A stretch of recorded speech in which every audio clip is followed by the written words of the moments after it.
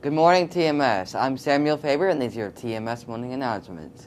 Today is a blue day. Tiverton's Teen Center The Hub is offering after school events. These events include a Valentine's dance and a candy bar. See the flyer for details. Printouts are available in the office.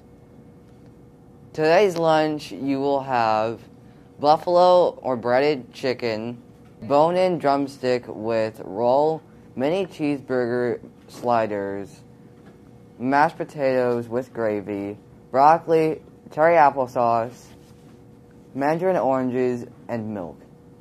Wednesday's lunch will be Bosco cheese sticks, shredded chicken on whole grain bun with a marinara side, salad with ranch, grapes, tomatoes, pineapple, mixed fruit, and milk.